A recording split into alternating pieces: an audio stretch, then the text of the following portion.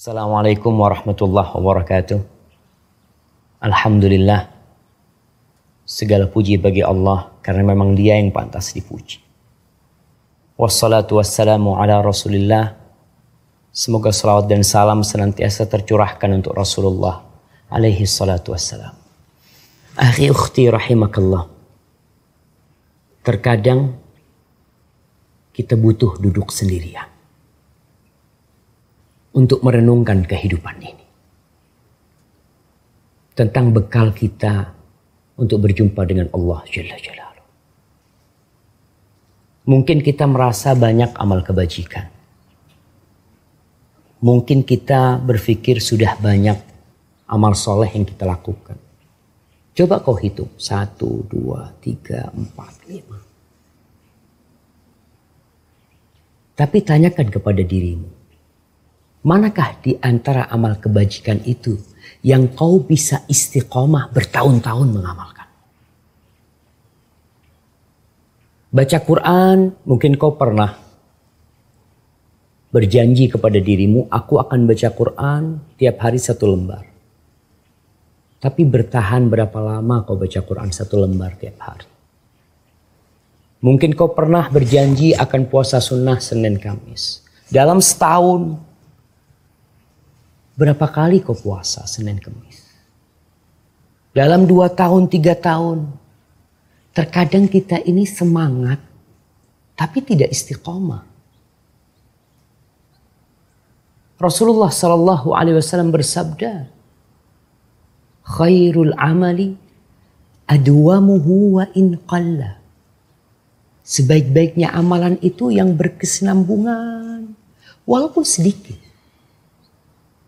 Jadi kalau ada istilah orang barat itu ngomong apa mini habit mungkin. Tapi kok kok jaga tuh. Bilal bin Robah terdengar terompahnya di surga. Apa karena amalan yang besar yang dia lakukan? Apakah karena dia pernah disiksa ketika di Mekah? Kemudian siksaan itu berlalu. Ternyata ketika ditanya oleh Rasul Sallallahu arja amalin.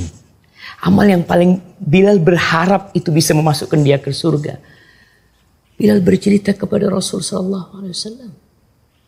Ya Rasulullah, aku, aku nggak tahu tapi aku nih tidak pernah, tidak pernah batal wudhu kecuali aku bersuci kemudian aku sholat setelah wudhu itu dengan jumlah yang Allah tentukan untuk aku. Itu yang didawamkan oleh Bilal. Kita sering dengar kalimat dawam kendawam. Itu artinya kita berkesinambungan. Karena itu akan akan mengantarkan kita. Amalan yang selalu kita jaga walaupun sedikit. Zikir. Ketika seorang sahabat datang. Dia mengadu kepada Rasul Sallallahu Alaihi Wasallam tentang banyaknya syariat. Tentang banyaknya amalan-amalan dalam Islam ini. Dia kepingin minta sebuah amalan yang bisa dia berpegang teguh untuk terus mengamalkannya.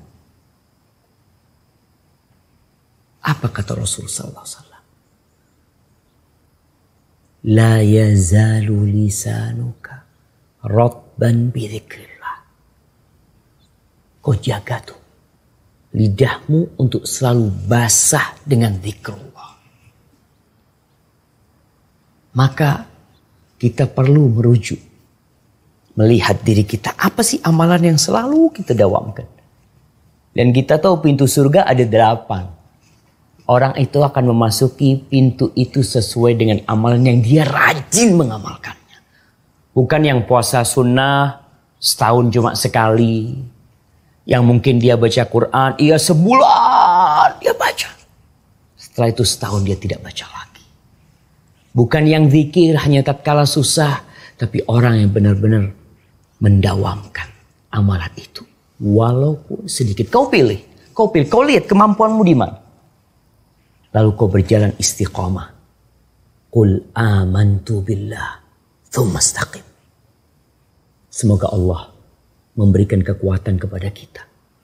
Untuk berjalan istiqamah sampai ke pintu surga.